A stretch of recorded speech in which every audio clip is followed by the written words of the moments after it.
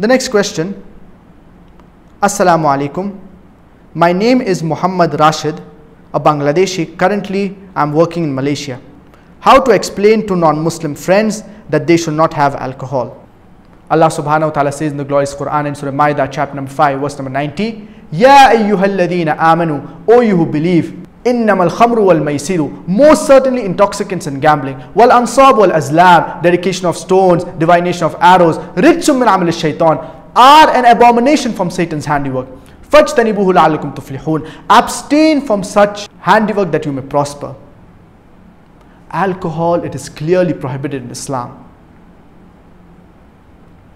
and alcohol is even prohibited in the Bible it is mentioned in the book of Proverbs chapter number 20 verse number 1 Wine is a mocker, strong drink is raging, and whosoever is deceived thereby is not wise.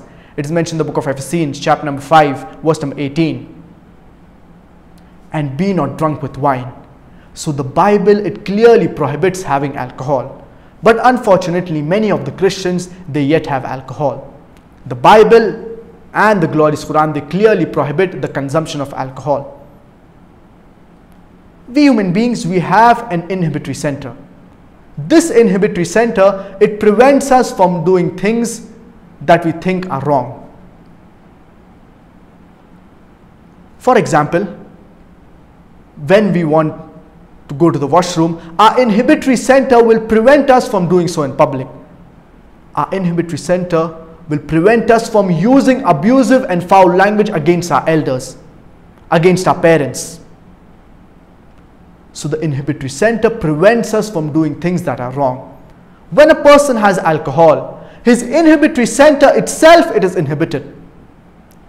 This is precisely the reason that people when they are in the state of intoxication, they tend to use abusive and foul language. They use abusive language when they are talking to their elders. Many of them they even urinate in their clothes because their inhibitory center itself it is inhibited. And when a person is in the state of intoxication, he can commit several crimes. For example, rape. According to the US Department of Justice, in the year 1996 alone, every day no less than 2,713 cases of rapes took place. Every 32 seconds, one woman was raped. And the majority of the people who committed this act of rape, they were in the state of intoxication. According to statistics, 8% of the Americans they are involved in incest. Incest having sexual relations with your close relatives. That means 1 out of 12 Americans they are involved in incest. And majority of the cases of incest they happen in the state of intoxication when the person has consumed alcohol. Many people they argue and they say that you know I am just a social drinker. I only have one or two pegs. Every person when he starts having alcohol, initially he is a social drinker. No person he drinks alcohol to become a drunkard. Every person initially he is a social drinker he keeps on drinking and then eventually he becomes a drunkard. And no person who drinks alcohol can say that I have never been intoxicated. Drinking alcohol, it has a huge impact on your mind. And there are various diseases that you can get due to the consumption of alcohol. For example, various types of cancer cancer of the head, cancer of the neck, cancer of the bowels, and you can get various other diseases. For example, esophagitis, gastritis, pancreatitis, hepatitis. All these diseases you can get due to the consumption of alcohol. Alcohol can also cause hypertension and it can cause various skin diseases. So there are various diseases that you can get due to the consumption of alcohol. That's the reason we should try to abstain from having alcohol.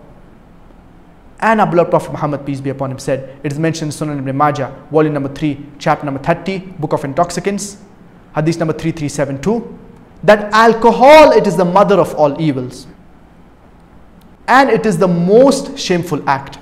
So even the ahadith of our beloved Prophet Muhammad, peace be upon him, they clearly say that we should not have alcohol. Furthermore, it's mentioned in Sunan ibn Majah, volume number 3, chapter number 30, book of intoxicants. There are 10 categories of people who are cursed by Allah subhanahu wa ta'ala.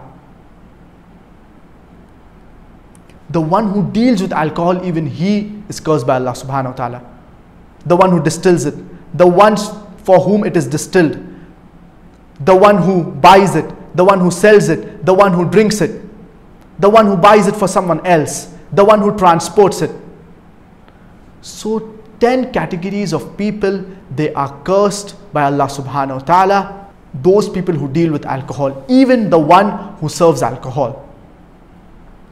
So we should totally abstain from the consumption of alcohol. And many people, they say that alcoholism, it is a disease. If alcoholism is a disease, it is the only disease that is sold in bottles. Advertised in the newspapers, in the magazines, on radio broadcast stations, on television channels. It is the only disease that causes violent deaths on highways, destroys family lives. It is the only disease that has no germ or viral cause. Alcoholism, it is not a disease, but it is Satan's handiwork. Abstain from it that you may prosper.